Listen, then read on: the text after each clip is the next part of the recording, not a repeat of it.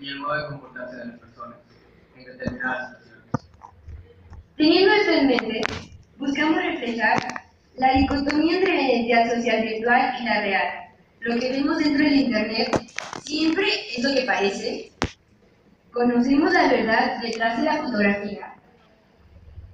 Para representarlo, utilizamos dos técnicas. La primera técnica usada en las fotografías es una multi- una multiexposición donde se sobreponen dos fotografías. Una se muestra en una tonalidad de escala de grises, representando esta identidad real de las personas, mientras que la otra se muestra en colores RGB, que hacen la referencia a los colores de la pantalla de los celulares. No Las fotografías no se muestran superpuestas, simbolizando una, una fragmentación de realidades que muy pocas veces logramos apreciar. En la segunda técnica, que es la que tenemos en pantalla, sobrepusimos la fotografía para generar imágenes múltiples en un mismo plano.